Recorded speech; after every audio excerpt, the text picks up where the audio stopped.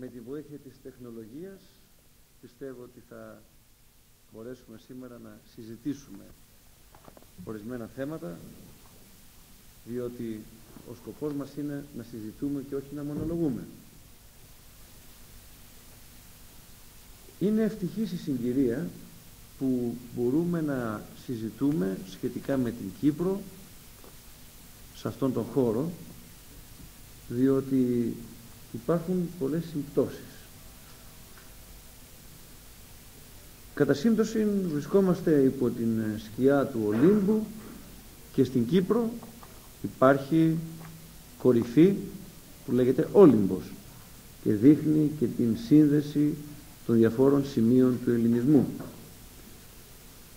Ο χώρος της Μακεδονίας έχει ιδιαίτερους δεσμούς με τον Κυπριακό Ελληνισμό ακόμη από την εποχή που η ιστορία δεν είχε καν αρχίσει να καταγράφει τα γεγονότα είναι σημαδιακό ότι στο μακεδονικό νησί στην Θάσο υπάρχει μια πόλη που λέγεται Κίνηρα και ο Όμηρος αναφέρει ότι ο βασιλεύς της Κύπρου την εποχή του Τροϊκού πολέμου ήταν ο Κινήρας ο οποίος έδωσε και την ασπίδα του στην Τροϊκή εκστρατεία, στον πόλεμο των Ελλήνων για να δείξει ακριβώς την συμμετοχή των Ελλήνων που από τότε στην Κύπρο ένιωθαν Έλληνες.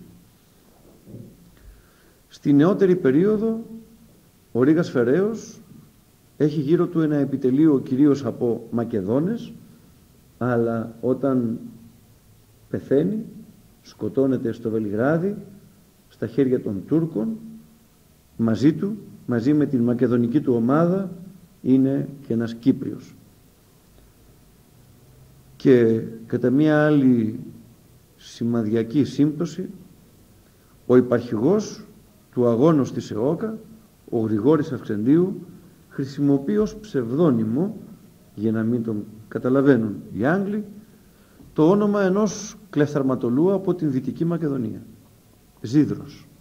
Ήταν το ψευδόνυμο του Γρηγόρη Αυξεντίου ο οποίος υπηρέτησε και ως έφεδρος αξιωματικός στον ελληνικό στρατό στη Μακεδονία. Η χρονική συγκυρία που μας φέρνει εδώ κοντά μας φέρνει εδώ να θυμηθούμε στιγμές από την ελληνική ιστορία της Κύπρου η χρονική συγκυρία δεν είναι άλλη από την 1η Απριλίου διότι ακριβώς πριν από λίγες μέρες συμπληρώθηκαν 40 χρόνια από τον εθνικό αγώνα των Κυπρίων για την ένωση με τη μητέρα Ελλάδα. Όπως θα δούμε, οι διπλωματικές συγκυρίες δεν συνήνεσαν ώστε να έχουμε τοποθητό αποτέλεσμα. Όμως ο αγώνας ήταν αγώνας σκληρός με παραδείγματα, με πρότυπα, με νέους ανθρώπους και ειδικά σήμερα που αναζητούμε τι πρότυπα να δώσουμε στους νέους έχουμε από τον αγώνα αυτό πολλά και συγκινητικά πρότυπα. Πριν φτάσουμε στην 1η Απριλίου του 1955 η Κυπριακή ιστορία είναι γεμάτη από σελίδες ελληνισμού αλλά και από τα πρώτα χρόνια του χριστιανισμού γεμάτη και από μαρτυρίες και μαρτύρια για την Ορθοδοξία. Είναι τεράστιο το θέμα και σήμερα θα μείνουμε περισσότερο στον αγώνα του 55 που είναι και η επέτειος των 40 χρόνων αλλά θα πρέπει να θυμόμαστε ότι όλη η ιστορία του ελληνισμού και της Ορθοδοξίας μπορεί να συμπυκνωθεί στις μεγάλες περιπέτειες του ακραίου αυτού κομματιού των ακριτών του Νότου και όπως έχουμε ακριτικά τραγούδια από τον Πόντι, από τη Μικρασία, έχουμε ακριτικά και στην Κύπρο. Διότι πραγματικά είναι η άκρη των άκρων του ελληνισμού της Ανατολικής Μεσογείου. Και επειδή σήμερα έχουμε πολλές απειλές και επειδή σήμερα υπάρχουν, εμφανίζονται και πάλι και διάφορα προβλήματα όχι μόνο εις βάρος του ελληνισμού αλλά και εις βάρος της Ορθοδόξου ταυτότητός μας θα πρέπει να γνωρίζουμε ότι στην Κύπρο το ελληνορθόδοξο γένος αντιμετώπισε στο πετσί του και επιβίωσε παρόλα τα αυτά όλους τους κινδύνους που πολλά άλλα κομμάτια του ελληνισμού δεν έχουν γνωρίσει. Στην Κύπρο γνώρισαν εκτός από την περσική κατάκτηση είχαν τους Πέρσες επί αιώνες που πολέμησαν και αγωνίστηκαν και εκτός από τους αγώνες με τον Κίμωνα τον Αθηναίο ο οποίος και νεκρός ενίκα στο Κίτιο της Κύπρου ο Μέγας Αλέξανδρος τους ελευθέρωσε τον τιμούν ως ελευθερωτή ελληνιστική περίοδος Ρωμαιοκρατία και στην Κύπρο αρχίζει η Εκκλησία με τον Απόστολο Βαρνάβα πάρα πολλοί Άγιοι η Κύπρος δεν είναι απλώς νήσος ηρώων είναι και νήσος Αγίων. Υπάρχει χάρτης ολόκληρος που δείχνει τους Αγίους που έζησαν, εμαρτύρησαν εκεί στην Κύπρο συγγραφής εκκλησιαστική αλλά η Κύπρος είχε και το προνόμιο το θλιβερό να έχει γνωρίσει και μια τρομερή περίοδο λατινοκρατίας. Λυσμονούμε σήμερα και λέμε ότι περάσαμε ο ελληνισμός τουρκοκρατία. Βεβαίως. Αλλά ειδικά η Κύπρος πέρασε και μια τεράστια περίοδο συγκριτικά με τον υπόλοιπο ελληνισμό λατινοκρατίας. Από το 1204 γνωρίζουμε ότι και ο ελλαδικός χώρος είχε φραγκοκρατία. Και στις 13 Απριλίου, μεθαύριο, όλοι πρέπει να θυμόμαστε ότι και κάποιοι άλλοι χριστεπώνυμοι διέλυσαν τον ελληνισμό 13 Απριλίου του 1204 η πόλη κατελήφθη από τους προγόνους των σημερινών εταίρων μας στην Ευρωπαϊκή Ένωση. Άλλο συγχωρούμε και άλλο λησμονούμε. Η Κύπρος πολύ νωρίτερα έπεσε στα χέρια διαφόρων σταυροφόρων που δήθεν για το σταυρό αγωνιζόντουσαν, Άγγλων, του Ριχάρδου Λεοντόκαρδου, στη συνέχεια του τάγματος των υποτών του ναού, των ναητών ή ταμπλιέρων που κατέσφαζαν, στη συνέχεια Γάλλων βασιλέων, και οι φίλοι μας οι Γάλλοι έχουν το ρόλο τους, Γάλλων βασιλέων των Λουζινιάν, οι οποίοι επί αιώνες κυβέρνησαν και κατεδίωξαν τον Ορθόδοξο κλήρο, έχουμε μάρτυρες στην Κύπρο, μοναχούς και κληρικούς, οι οποίοι κρεμάστηκαν ανάποδα, κάηκαν, εσύρθησαν ζωντανοί πίσω από άλογα, διότι δεν υπετάγησαν στη Λατινική Εκκλησία. Ενετή, ενετοκρατία, τουρκοκρατία, το 1878 οι Τούρκοι πολλούν την Κύπρο στους Βρετανούς έναντι οικονομικού ανταλλάγματος. Γίνεται αυτή η δουλειά. Και επισήμως οι Τούρκοι πάβουν να έχουν κάθε δικαίωμα. Όμως τους αναφέρνουν οι Άγγλοι κατά τη διάρκεια του αγώνος που θα αναπτύξουν. Το 1931 η Κύπρος βρίσκεται υπό αγγλικό ζυγό.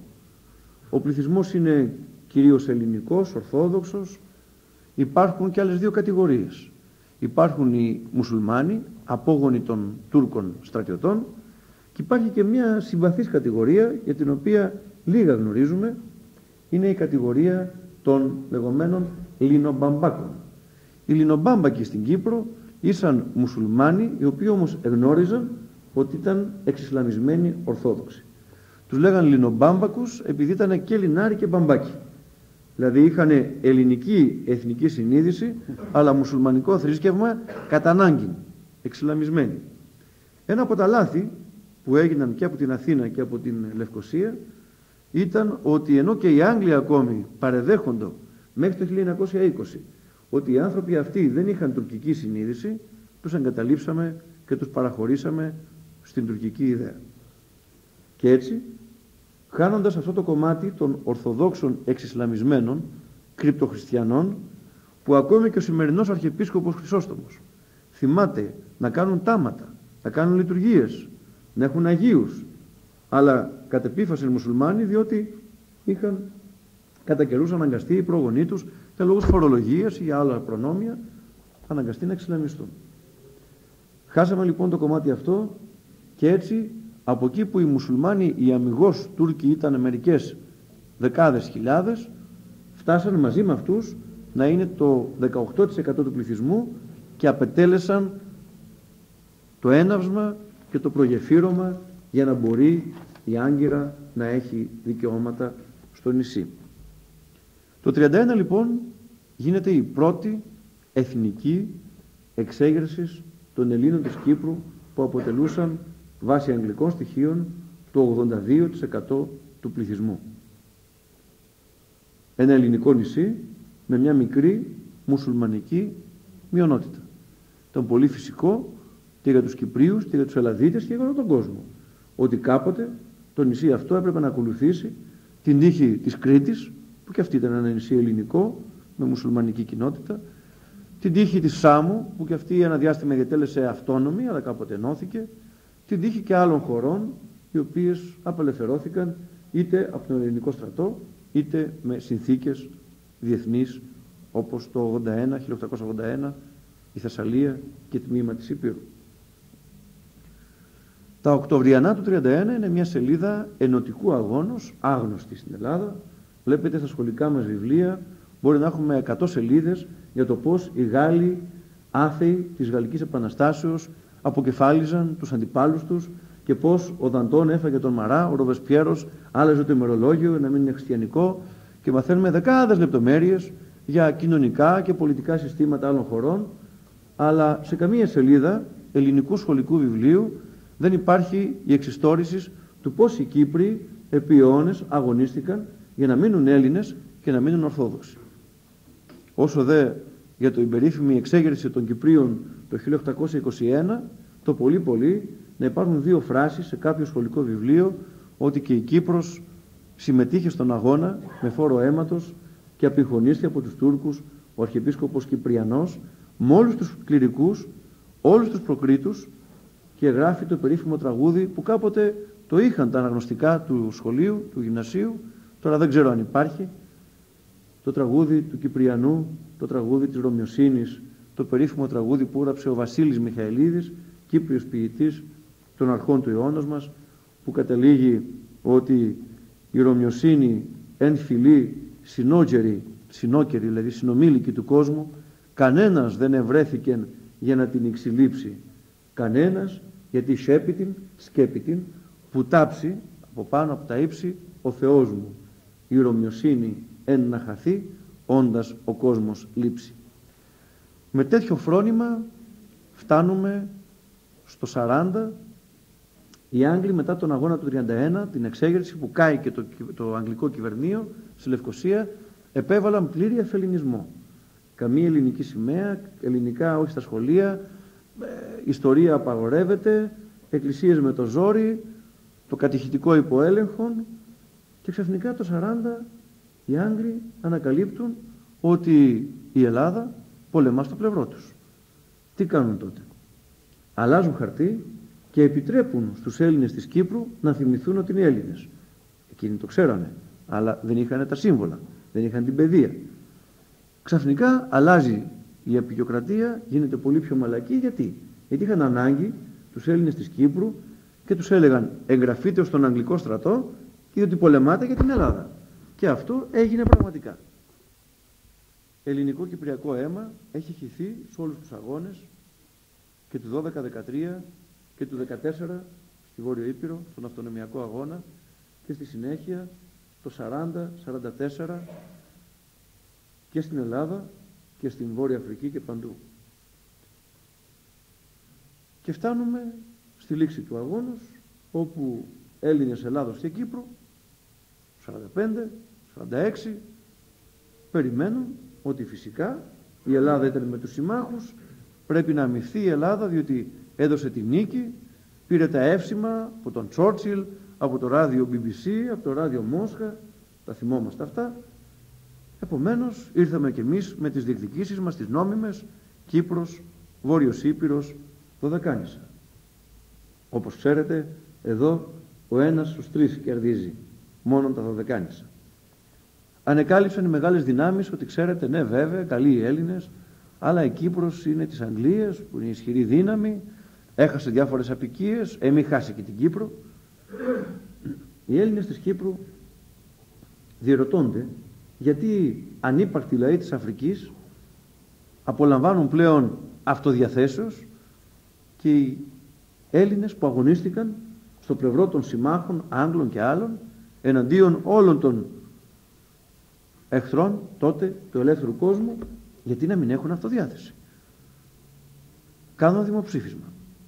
Τον Ιανουάριο του 50, 15 Ιανουαρίου του 1950, σε όλη την Κύπρο διεξάγεται δημοψήφισμα για την ένωση με τη μητέρα Ελλάδα.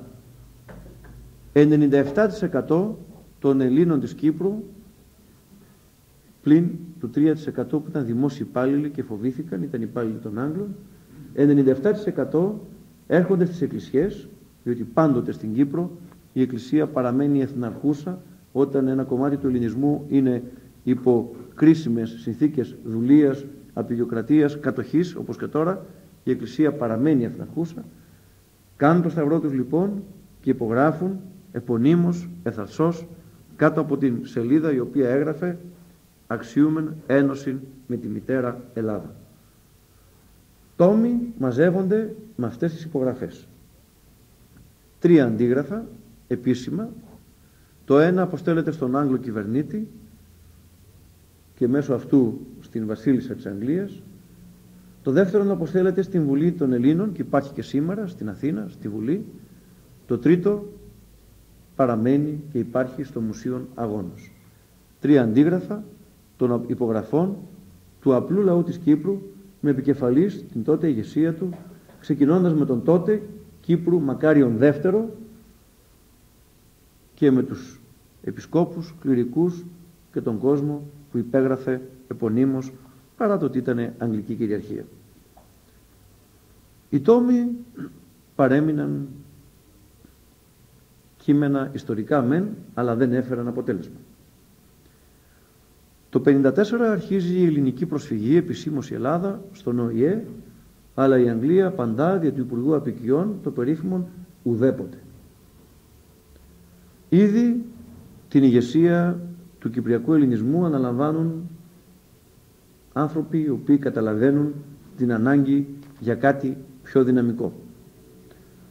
Ο μέχρι τότε Μητροπολίτης Κιτίου, Μακάριος ο Τρίτος, αναλαμβάνει αρχιπίσκοπος μετά τον θάνατο του Μακαρίου Β και κατά σύμπτωση όταν ήταν εφημέριος στην Αθήνα την περίοδο την καυτή του 40-44 γνωρίζεται στην κατοχή γνωρίζεται με έναν συμπατριώτη του αξιωματικό του ελληνικού στρατού τον Γιώργιο Γρίβα γνωστό και ως διγενής στη συνέχεια.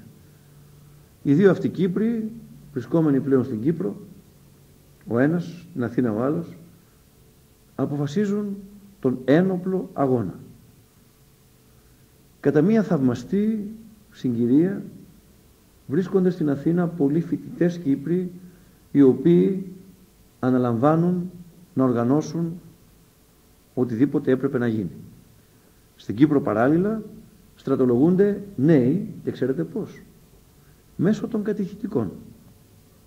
Ο αγώνας του 55 ό,τι πέτυχε το πέτυχε κυρίως χάρη στα νεαρά παιδιά, τα παιδιά τους εφήβους, τα οποία πήγαιναν στα κατηχητικά της περίφημης ΟΧΕΝ, Ορθόδοξους Χριστιανική Ένωσης Νέων. Από τα παιδιά αυτά των 16, 17, 18 χρονών, κοπέλες, αγόρια, στρατολογούνται οι πρώτες ομάδες, στρατολογείται η ΑΝΕ, Άλκημος Νεολαία Εώκα, που μετέφερε τα γράμματα μέσα στην τσάντα των παιδιών, που οι Άγγλοι δεν υποψιάζονταν, Στρατολογούνται οι αγωνιστές όπως οι πιο πολλοί που στην συνέχεια θα αναφέρουμε και στρατολογούνται και οι κοπέλες οι οποίες δακτυλογραφούν, πολυγραφούν, μεταφέρουν ποδήλατα τα μηνύματα, μεταφέρουν μέσα στο ψωμί και στα καλάθια τα γράμματα στο βουνό. Και στην Αθήνα παράλληλα φοιτητές Κύπροι διαφόρων σχολών αρχίζουν τον αγώνα διαφωτίσεως του ελληνικού λαού και συμπίπτει την 1η Απριλίου του 1955 να έχει ετοιμαστεί το ΠΑΝ. Έχει κατέβει ο Γρίβας από τον Νοέμβριο του 1954 στην Κύπρο. Η συνομωτικότητα τηρείται πλήρως. Ελάχιστοι γνωρίζουν μόνο όσοι πρέπει να γνωρίζουν. Και 1η Απριλίου το βράδυ της 31ης Μαρτίου προς την 1η Απριλίου του 1955 ξαφνικά όλη η Κύπρος ξυπνά απότομα τα πάντα λειτουργούν ρολόι. Το μυστικό δεν έχει αποκαλυφθεί. Μια ατυχία συμβαίνει ότι δεν εξεράγει η βόμβα στο κρεβάτι του Άγγλου κυβερνήτη, όμως στη συνέχεια το μήνυμα δίδεται παντού ότι αφού με τον ΟΗΕ, με τα λόγια, με τις πιέσεις, με το δημοψήφισμα δεν μας δίνεται αυτό που δώσατε στους Ζουλού της Αφρικής, εμείς οι Έλληνες της Κύπρου, πλην εξαιρέσεων, πάντοτε υπάρχουν οι φοβιτσιάριδες, υπάρχουν και οι εφιάλτες στην ιστορία μας, θα αγωνιστούμε για την Ένωση. Ο αγώνας είναι όλου του Κυπριακού Ελληνισμού. Οι παλαιότεροι θα θυμούνται ότι και στην Αθήνα, Θεσσαλονίκη, Κατερίνη, οπουδήποτε, γίνονται συλλαλητήρια στο δρόμο των φοιτητών με ελληνική σημαία και μόνο, υπερκομματικά, νέοι, φοιτητές, εργάτε, υπάλληλοι στο δρόμο με το περίφημο σύνθημα Ελλάς Κύπρος Ένωσης. Επικεφαλής του αγώνος πολιτικός αρχηγός ο Αρχιεπίσκοπος Μακάριος. Μοναχός από ένα χωριό της Πάφου ξεκίνησε, μοναχός στον Κίκο, το ιστορικό αυτό μοναστήρι, μετά φοιτητής στην Αθήνα, εφημέριος στο Θησίο των Αθηνών, υπότροφος στην Αμερική και ξαφνικά καλείται Μητροπολίτης νέος στην τότε Μητρόπολη Κιτίου που αργότερα διασπάστη Κιτίου που είναι η Λάρνακα και Λεμεσού και στρατιωτικός αρχηγός ο εξωματικός του ελληνικού στρατού Κύπριος Γιώργος Γρίβας με ψευδόνυμον Διγενής. Οι αγωνιστές οι έφηβοι, οι νέοι, επικεφαλής τομέων της ΕΟΚΑ, Εθνική Οργάνωσης Κυπρίων Αγωνιστών. Τα φυλάδια κάνουν την προπαγάνδα. Τα παιδιά στα κατηχητικά οργανώνουν το επέδαφος. Η άλκημος νεολαία στα σχολεία ετοιμάζει τα κανάλια ώστε πάντοτε να υπάρχει ετοιμότητα. Οι κοπέλες μεταφέρουν τα μηνύματα στο βουνό στο λεωφορείο μέσα, γίνεται έλεγχος, ψάχνουν οι Άγγλοι, βλέπουν μια, ένα κοριτσόπουλο που πάει στην Λευκοσία, τι πάει, να δώσει μάθημα αγγλικά. Κάτω από το καλάθι μαζί με τα βιβλία, πιο κάτω ή μέσα στην κάλτσα της, ένα μήνυμα από τον τομεάρχη αμοχώς του στο διγενή που είναι στο βουνό μες στη σπηλιά. Κοπέλες βασανίζονται, συλλαμβάνονται, φυλακίζονται, ελάχιστες υποκύπτουν να ομολογήσουν. Οι Άγγλοι απαντούν σκληρά. Επικυρίσονται οι αγωνιστές. Μαστιγώνονται τα νεαρά παιδιά τα οποία συλλαμβάνονται να έχουν το παραμικρό μήνυμα. Η μάχη της σημαίας. Η μάχη της σημαίας είναι ότι ενώ απειγορεύεται η ελληνική σημαία, όλα τα ελληνόπουλα της Κύπρου κρεμούσαν την ελληνική σημαία στο σχολείο και κατέβαζαν την αγγλική. Το Παγκύπριο Γυμνάσιο, γυμνάσιο το οποίο ιδρύθηκε από τον 19ο αιώνα ως ελληνική σχολή επιτυποκρατίας ακόμη το Παγκύπριο Γυμνάσιο γίνεται ο πυρήνας διαδηλώσεων με επικεφαλής την ελληνική σημαία. Οι Άγγλοι πυροβολούν στο ψαχνό. Ο νεαρότερος μαθητής που σκοτώθηκε ήταν 7 ετών στη Λάρνακα. Οι αγωνιστές που συλλαμβάνονται να μεταφέρουν έστω και ένα κομμάτι διαλυμένου όπλου καταδικάζονται σε θάνατο. Ορισμένοι απαγχωνίστηκαν. Αυτή ήταν η μορφή εκτελέσεως. Άλλοι σκοτώθηκαν στο πεδίο της μάχης. Άλλοι επέζησαν στο κελί των μελοθανάτων. Όλοι, πλην ελαχίστων εξαιρέσεων, έδειξαν απαράμιλο θάρρος και δεν μιλάμε για χρόνια προαιώνια. Μιλάμε για πριν λίγα χρόνια. Τιμητικά αναφέρουμε ορισμένους που θα έπρεπε να είναι γνωστοί, ειδικά στους νέους μας, ότι ήταν παλικάρια στην ηλικία που σήμερα μας προβληματίζει τι ιδανικά θα πρέπει να έχουν οι νέοι μας. Γρηγόρης Αυξεντίου, υπαρχηγός της ΕΟΚΑ, μεταφιέζεται δεκάδες φορές. Ως καλόγερος στη Μονή Μαχαιρά προδίδεται από τον εφιάλτη ένα βοσκό. Καταφεύγει σε ένα κρυσφύγετο δίπλα στη Μονή Μαχαιρά με άλλους δύο. Τρεις άνδρες επί ολόκληρη ημέρα από το πρωί μέχρι το απόγευμα αντιμετωπίζουν μια ταξιαρχία του Αγγλικού στρατού. Οι δύο συνεργάτες με εντολή του αρχηγού του μάστρου, όπως τον λένε στην Κύπρο, τον, του κεφαλής, μάστρε λέει, να σε αφήσουμε, βιέστε τους λέει εσείς, εγώ θα μείνω εδώ. Βγαίνουν οι δύο και μένει μόνος του, ένας εναντίον εκατοντάδων.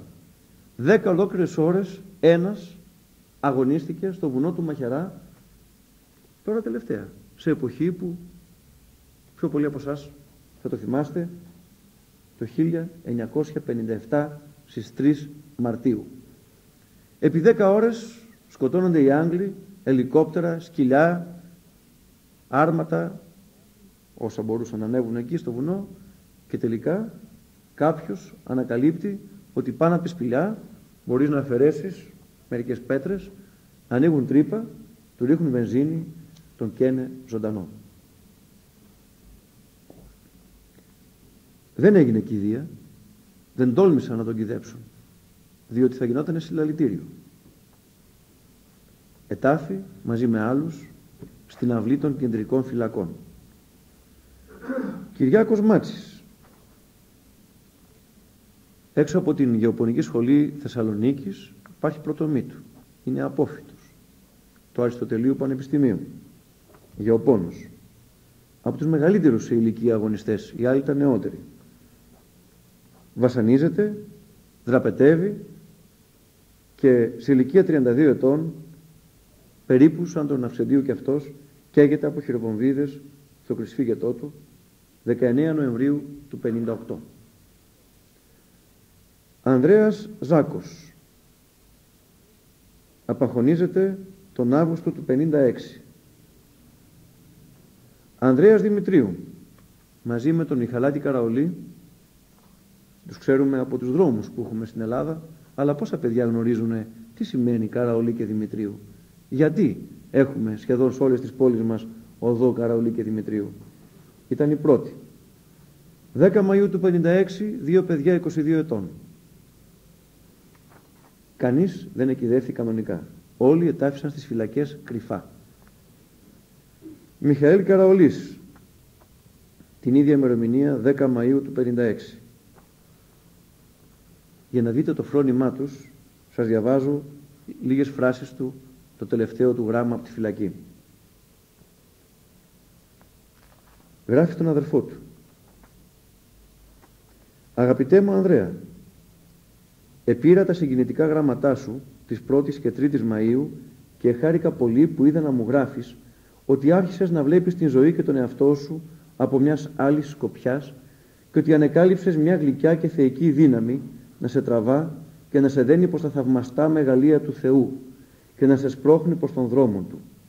Ήθε ο Πανάγαθος να δώσει να μην παρεκκλίνεις από τον δρόμο τούτον, ο οποίος αν και στενός και δύσβατος είναι εν τούτης ο μόνος που οδηγεί εις την αιωνίαν μακαριότητα.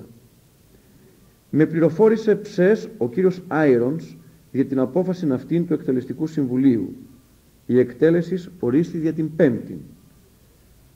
Είναι πολύ βραχία η διορία που μας αφήνει.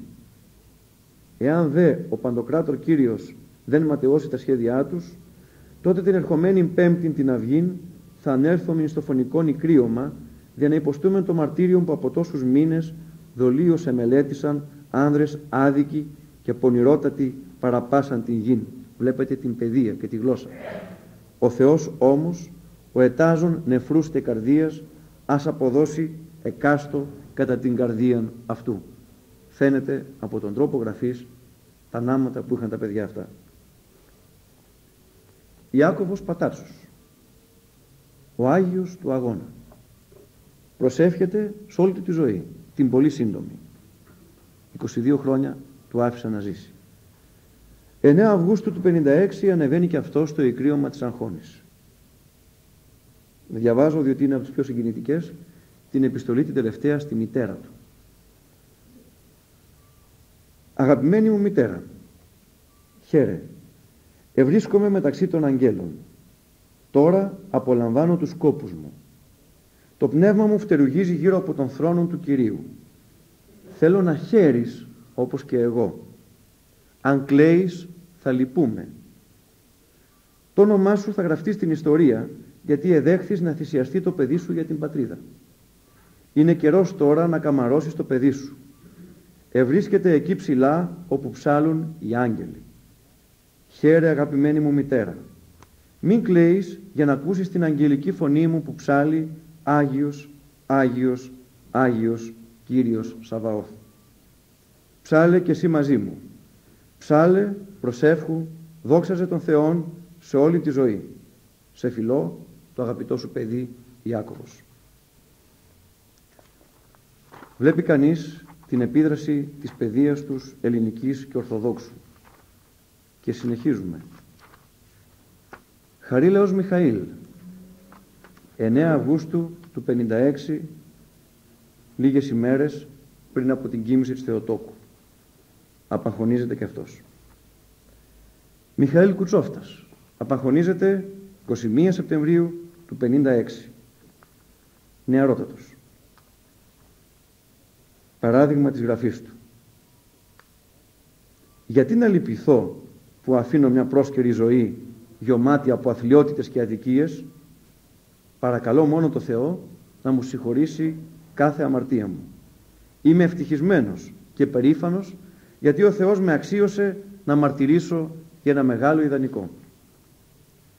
Στέλιος Μαυρομάτης, 23 ετών, απαγχωνίζεται και αυτός το Σεπτέμβριο του 56, το πνεύμα των γραμμάτων του είναι περίπου το ίδιο. Γράφει στους γονείς του.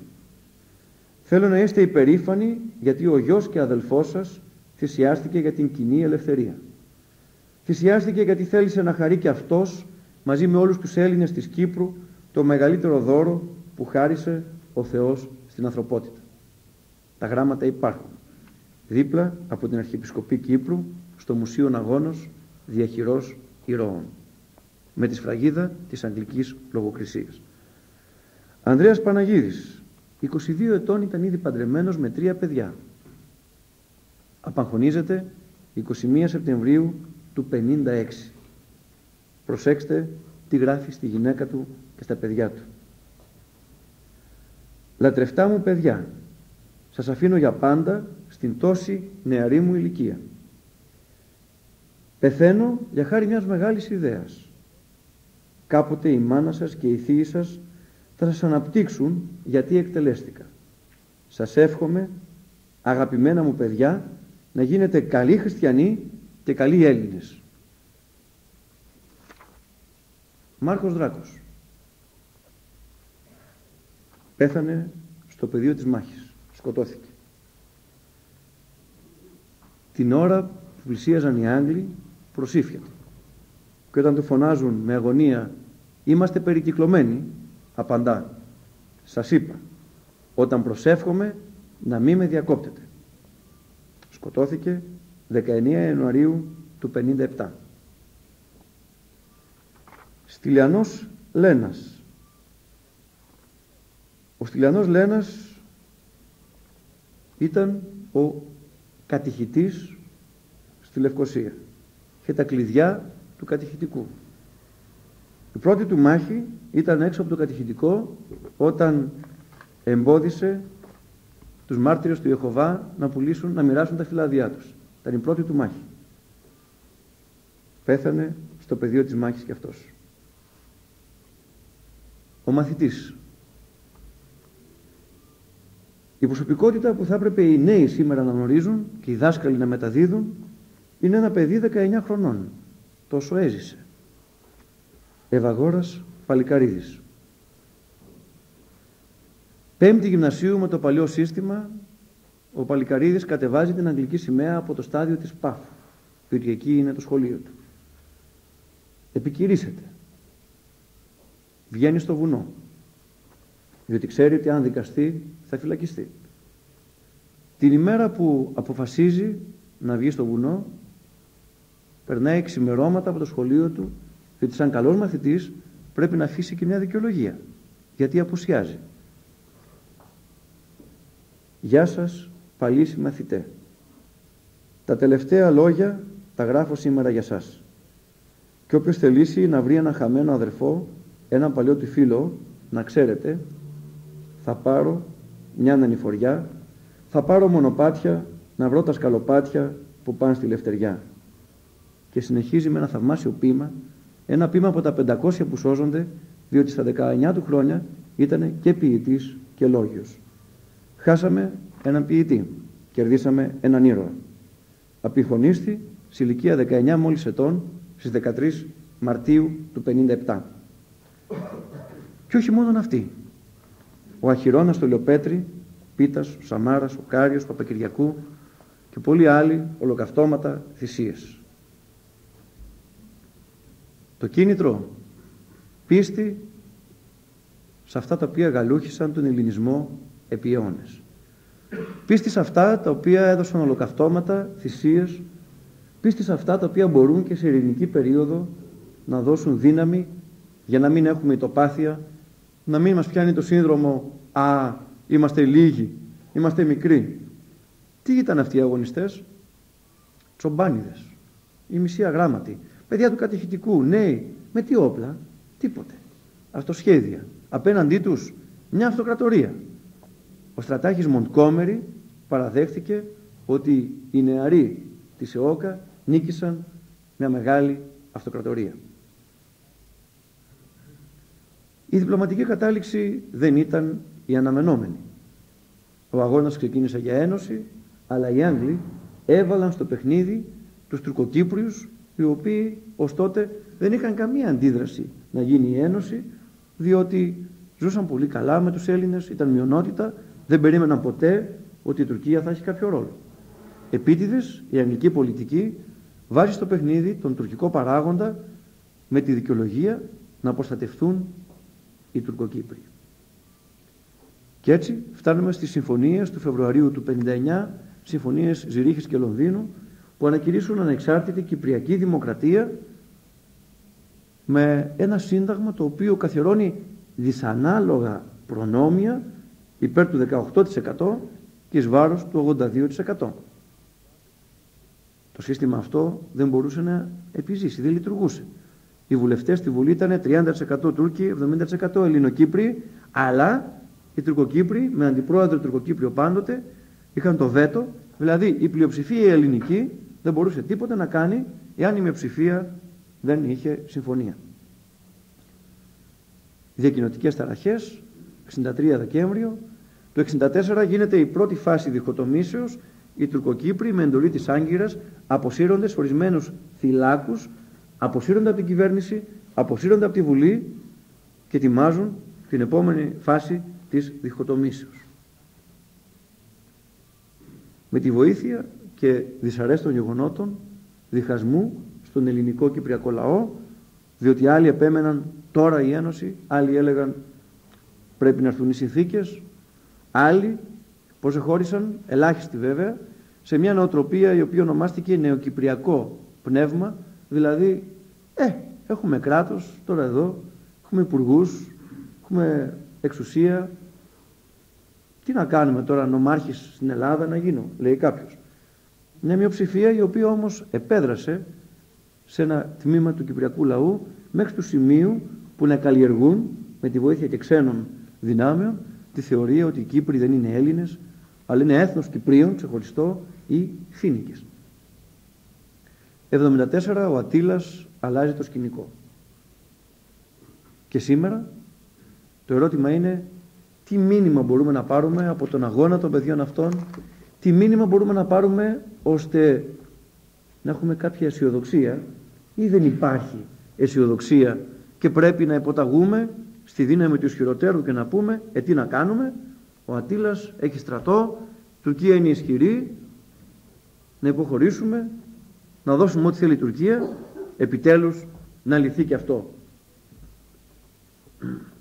τα πράγματα τον τελευταίο καιρό έχουν αρχίσει να διαφοροποιούνται.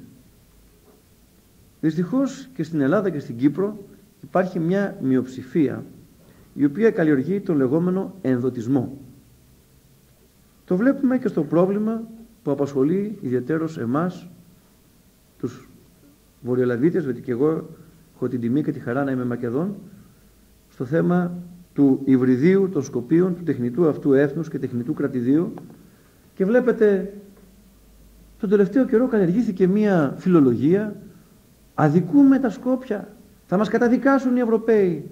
Φταίμε για το εμπάργο. Ξεχάσαμε ότι το Σύνταγμα των Σκοπίων είναι αλυτρωτικό. Ξεχάσαμε ότι άλλοι λαοί σε αντίστοιχες περιπτώσεις δεν δέχτηκαν όχι μόνο όνομα, ούτε νόμισμα που να τους προσβάλλει. Ξεχάσαμε ότι η διακήρυξη των Σκοπίων αναφέρεται στο 1903 στους κομιτατζίδες. Ξεχάσαμε το συνέδριο, που, τα συνέδριά τους που λένε για Θεσσαλονίκη. Ξεχάσαμε, όχι όλοι, μια μειοψηφία. Ξεχάσαμε τους χάρτες, ξεχάσαμε τα κόμματα, το τι διακηρύσουν, ξεχάσαμε όλα αυτά και έρχονται ορισμένοι, θα μην χαρακτηρίσω και λένε φταίμε εμείς, είμαστε επιθετικοί, σοβινιστές, εθνικιστές, να άρουμε το εμπάργο. Μας βλάπτει το εμπάργο. Βλάπτει την οικονομία μας λέει το εμπάργο. Και μέσα σε λίγες μέρες αυτοί οι κύριοι φάγαν δύο χαστούκια. Για να τα θυμίσω. Βγαίνουν μερικοί και λένε η οικονομία μας λέει, σαν πουλούνται τα πάντα, η οικονομία μας βλάπτεται. Γιατί τα Σκόπια είναι μια τεράστια αγορά, τους κάνουμε φίλους, τους αγοράσουμε. Να πουλήσουμε λέει, πού να πουλήσουμε, δεν έχουν να φάνε, τι να πουλήσουμε; Να πουλήσουμε στα Σκόπια, τους κάνουμε φίλους. Και την ώρα που μας λένε διάφοροι σε συνέδρια και έρχονται και πρέσβεις μεγάλων δυνάμεων και λένε να άρετε το εμπάργκο. Βγαίνει η τουρκική εφημερίδα, εθνικιστική και λέει μπράβο στην Ελλάδα. Όση διάρκεια είχε η Ελλάδα εμπάργο στα Σκόπια, αυξήθηκαν οι εξαγωγές των Ελλήνων στα Βαλκάνια κατά 190% που είναι ρεκόρ βαλκανικών εξαγωγών. Διότι φυσικά κανείς Αλβανός, Βούλγαρος, Ρουμάνος δεν μας είπε μην έρθετε να πουλήσετε αν δεν άρετε το εμπάργο. Κανείς δεν ασχολείται με αυτό. Και τι είναι η αγορά των Σκοπίων, φτωχή αγορά, οι εξαγωγές μας και πρότεινος εκεί πέρα ήταν ελάχιστες, η δε ευρωπαϊκή κοινότητα πόσο θίγεται, 0,0 τόσο της εκατό των εξαγωγών της Ευρώπης ήταν στα Σκόπια.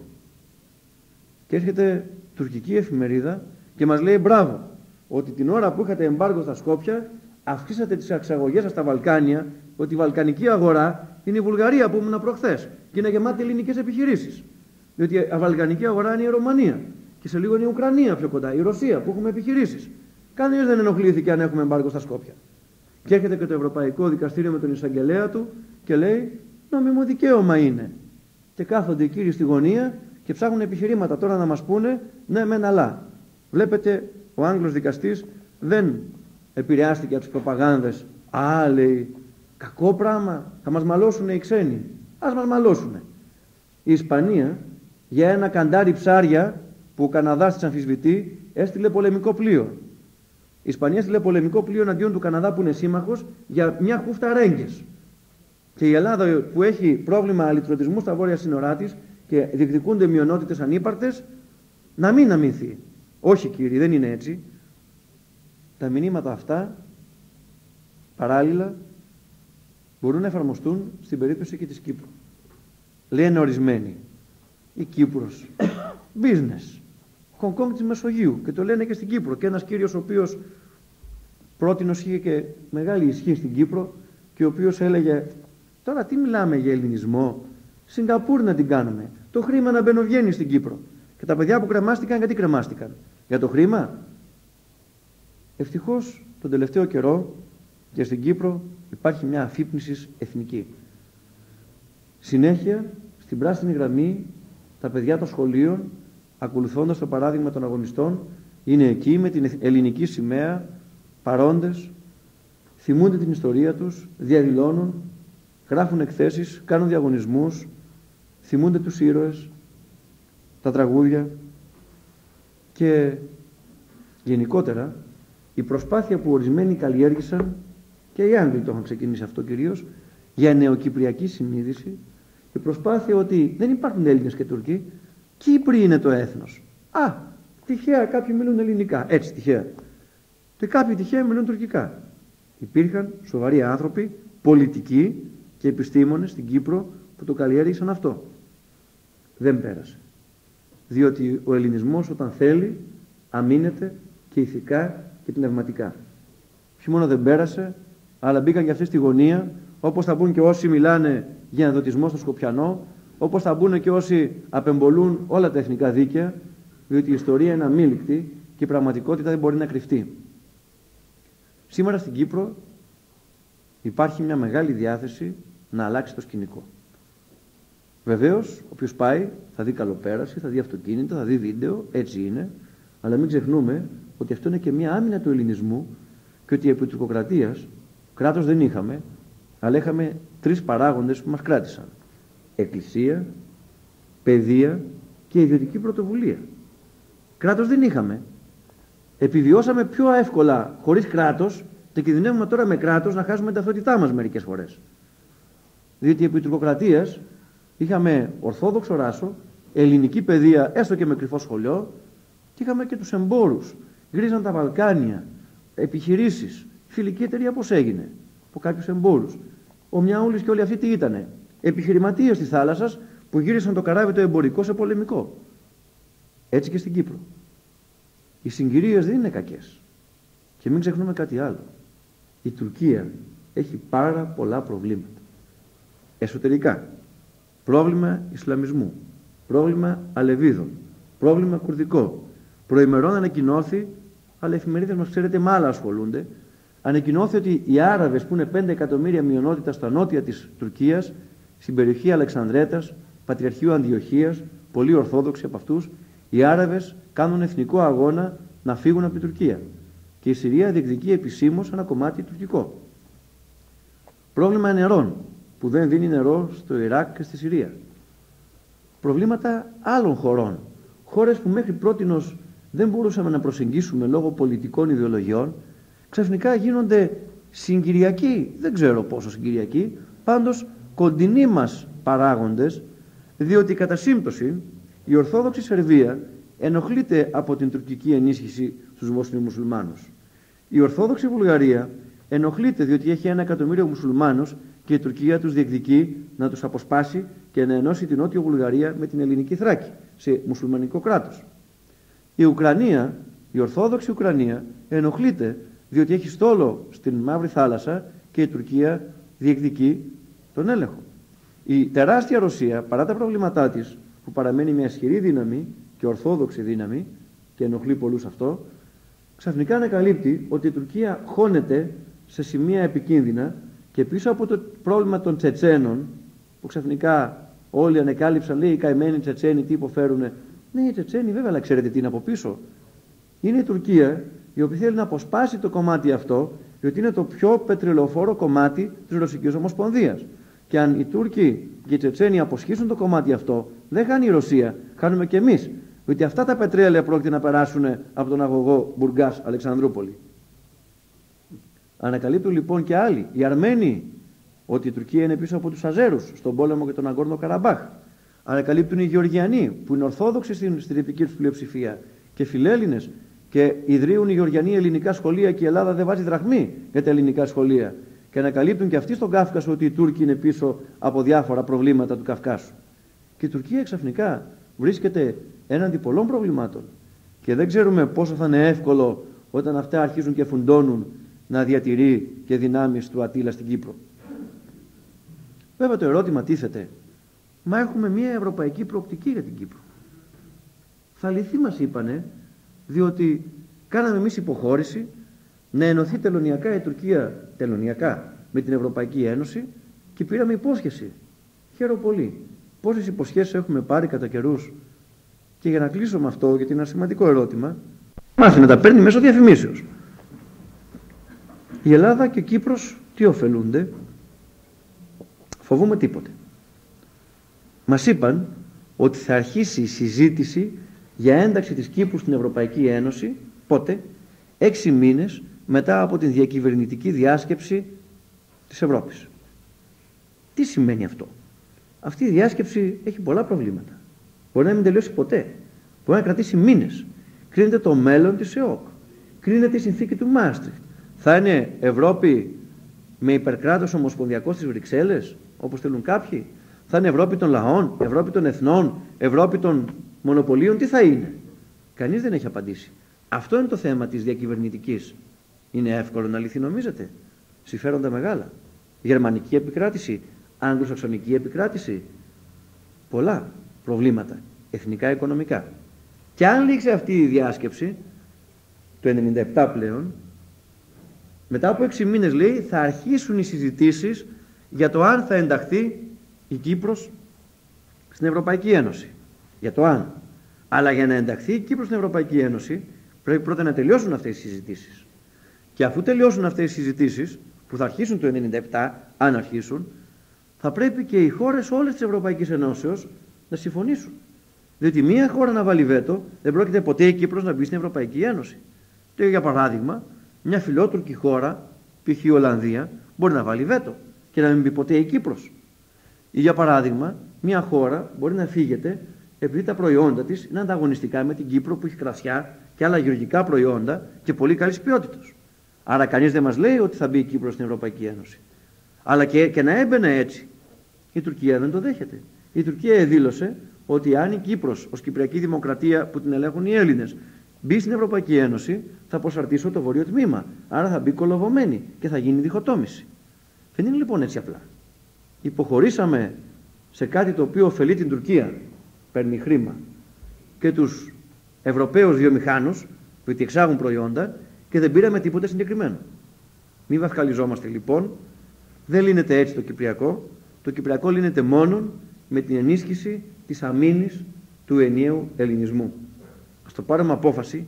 Οι Τούρκοι δεν βλέπουν Κυπριακή δημοκρατία, ελληνική δημοκρατία.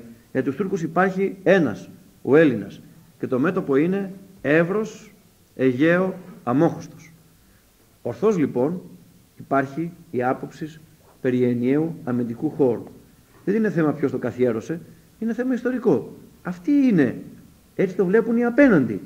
Έτσι σχεδιάζουν τα απέναντι επιτελεία. Και το ανιαίο αμυντικό δόγμα δεν είναι μόνο θέμα στρατού. Είναι θέμα πνευματικό. Θέμα δεσμών. Θέμα να γνωρίσουμε κι εμείς την ιστορία ενός κομματιού του ελληνισμού. Η Κύπρος είναι 600.000 Έλληνες στην Κύπρο και άλλες 200.000 απόδημοι στην Αυστραλία, στην Αγγλία, παντού. Η Ορθόδοξη Αρχιεπισκοπή Θιατήρων στο Λονδίνο, σε αυτούς βασίζεται. Στους Κυπρίους κυρίως.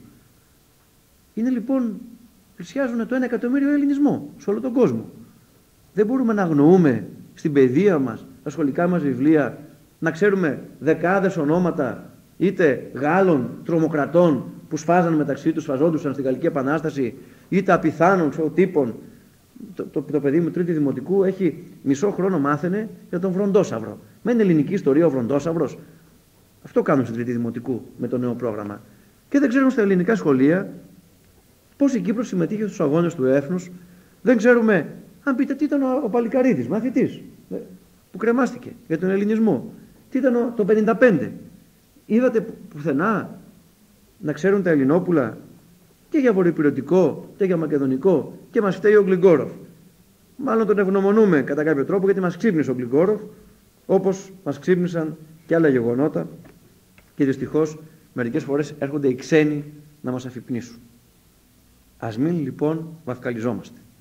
Κανείς δεν πρόκειται σε κανένα εθνικό θέμα να μας δώσει κάτι το οποίο εμείς δεν διεκδικούμε. Και όπως έλεγε ο Ελευθέριος Βενιζέλος, δεν πρέπει να μιλάμε για τα δίκαια μας, αλλά για τα συμφέροντά μας. Τα συμφέροντά μας που τα ξέρουμε καλύτερα εμείς.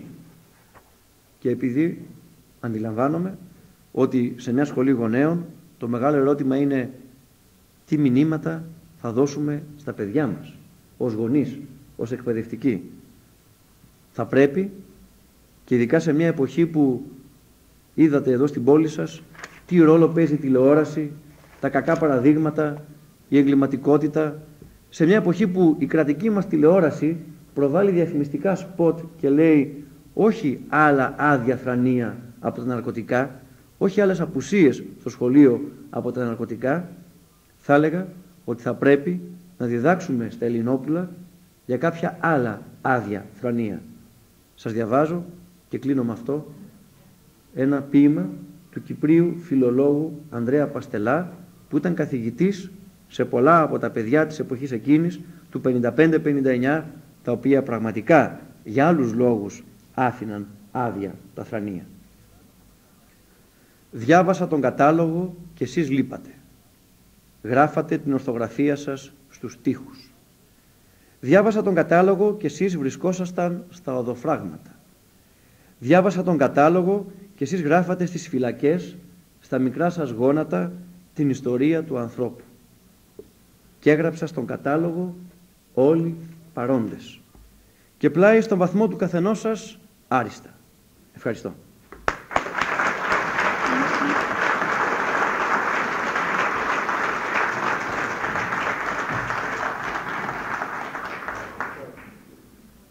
Όπως συνηθίζετε θα χαρώ πάρα πολύ να έχω τις παρατηρήσεις σας και τις ερωτήσεις σας γιατί είπαμε ήρθαμε για συζήτηση.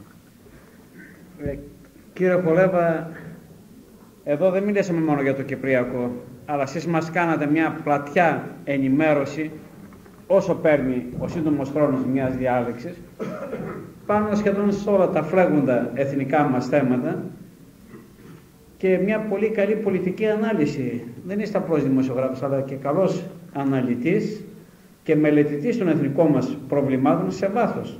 Και νομίζω αυτή είναι η διαπίστωση όλων των ακροατών σήμερα.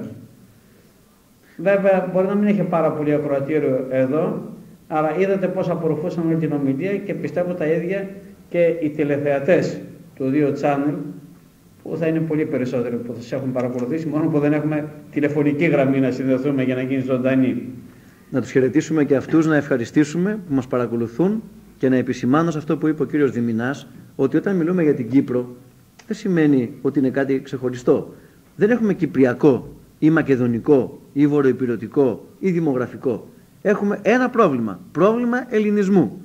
Ή ξέρουμε ποιοι είμαστε, πού πηγαίνουμε, τι θέλουμε εμείς ή τα σβήνουμε όλα και έρχεται ο καθένας και επιβάλλει ενδοτισμό, ητοπάθεια και βεβαίως ξένα συμφέροντα.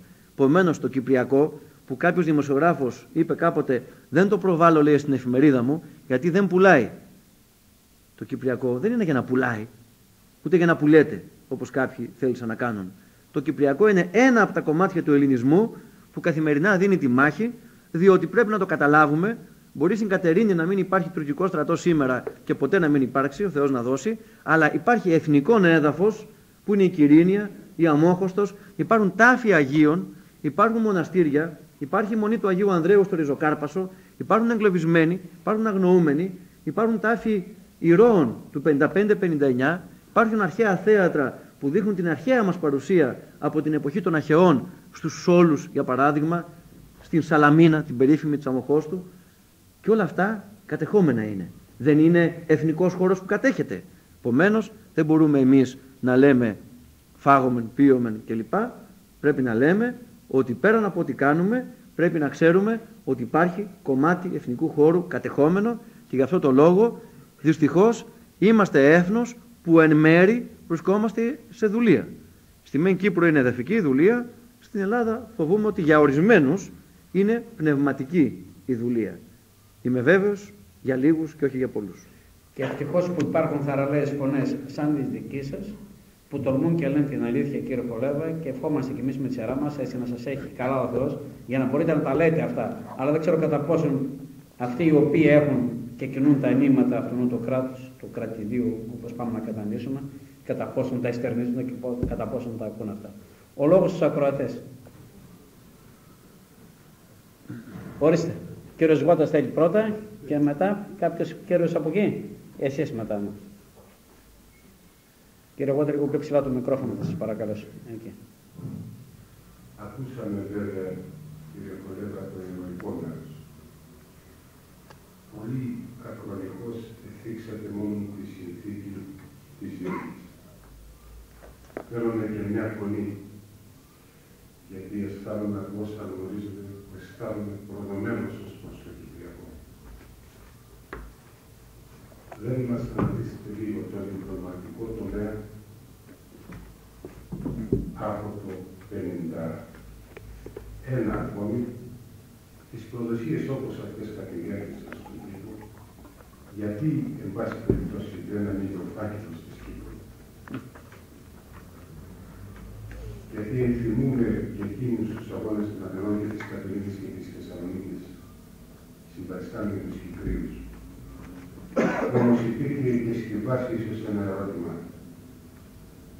Θυμάμαι τα λόγια του κυρίου Γεωργίου Παπανταέου, ο οποίος έλεγε στον παπάγο να μην κινηθεί το Κυπριακό. Η Βασίλισσα μάλιστα η Φρυδερίκη παρεκάλει τον Σπύρο Μαρκεζίνη τότε να μην, να μην κινηθεί το εκλογικό αγώνα στους παπάγους. Δεν το είπε το εξής. Αναπνέομαι με δύο πνεύμονες, έναν αγγλικό και ένα ικανικό. Ήρθε το ερώτημα. Μήπως δεν είναι το όριμο στη συνθήκη να γίνει η επανεσυντήρηση, να γίνει η επανάσταση στην Κύπρο; Διότι ο Ισλαμισμός έζησε και θα ζήσει. Δεν το θεωρώ ότι δεν έπρεπε να γίνει έργο του κοινωνικού, δεν λέω ότι είναι έργο του Παπαδρέου.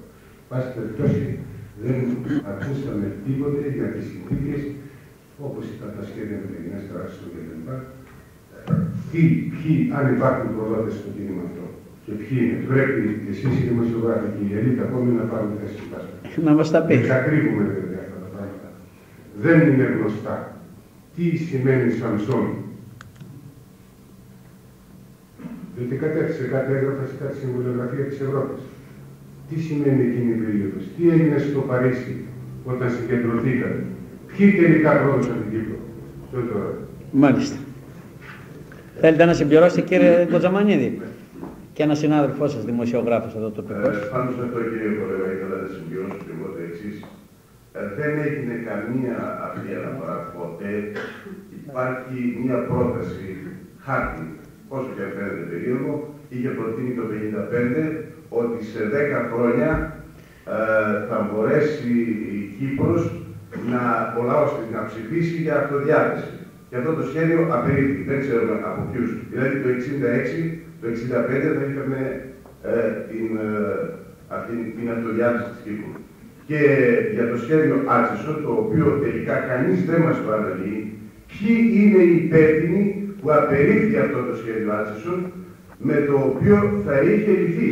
Ε, μιλάμε για τα ιστορικά γεγονότα, σεβαστά όλα αυτά, οι θυσίες, αλλά ε, πρέπει να μιλήσουμε και για τις χαμένες ευκαιρίες, γιατί σε κάθε διαπραγμάτευση δεν νομίζω ότι μπορούμε να πάρουμε αυτό που εμείς θέλουμε και είναι εθνικά δίκαιο, αλλά πολλές φορές είναι και το δέον γενέστε που λέμε αυτό που μπορούμε να πάρουμε.